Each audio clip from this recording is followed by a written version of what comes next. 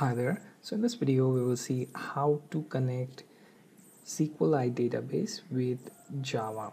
For this we need SQLite JDBC driver and you can download that from Bitbucket's website. So simply search for SQLite JDBC Bitbucket and Google will send you this URL.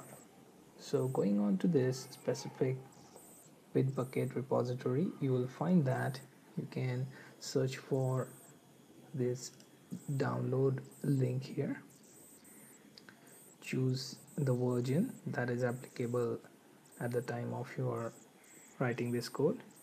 To me it is 3.8.11.2 in future this may change to new version so download accordingly.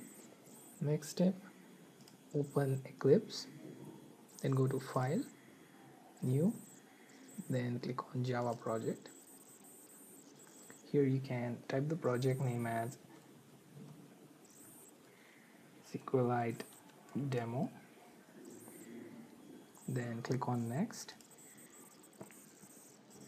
Next thing to do is to find the jar file which we downloaded from SQLite JDBC repository and locate that for that click on add external jars. Then locate your SQLite JDBC driver. Next thing click on finish. Okay now once you do that next thing to do is add class by right clicking on project then new class. And here you type in SQLite demo. And you can also select public static void main and click on finish. Okay now this will open skeleton project. First thing to do is call for import then java.sql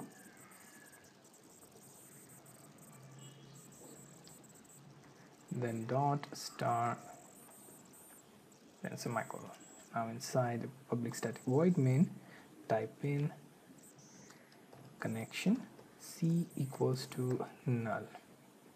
Okay the next thing uh, within try and catch block.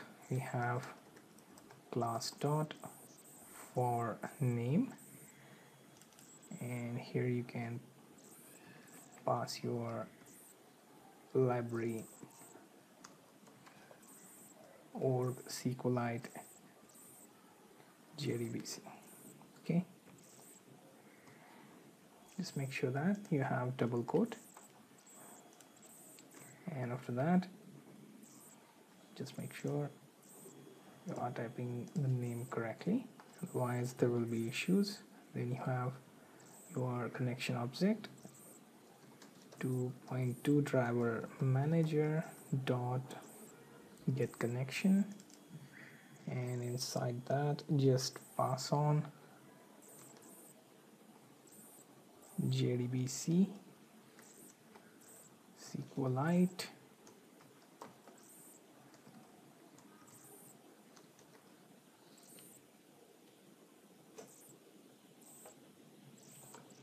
test.db okay?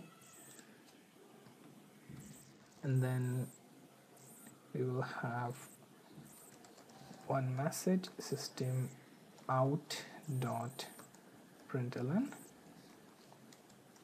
SQLite db connected. Okay.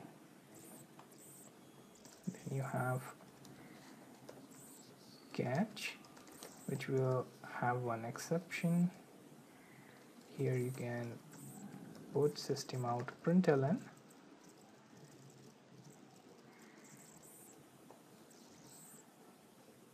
and to print exception. Okay. Can also check throws exception for public static void main okay. So for this first tutorial we will just connect to SQLite database.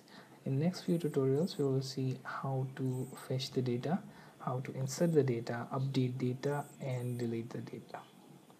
So let's test out our first program which is testing your SQLite database connection. So go to run and click on the run button. Okay so we have to save it. And it will send you message SQLite DB connected.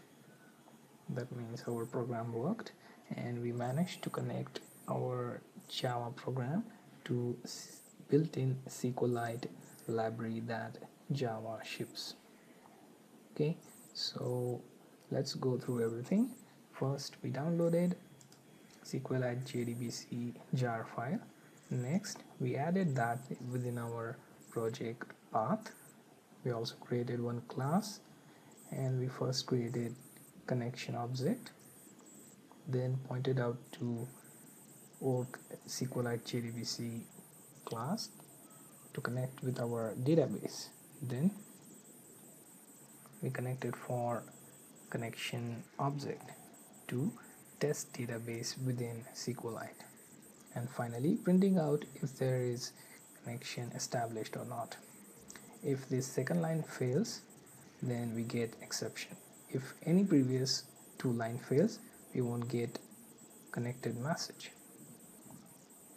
Okay so this was a short introduction on how to connect your java program with SQLite database. In next few tutorials we will see how to fetch the data how to insert and update the data and delete the data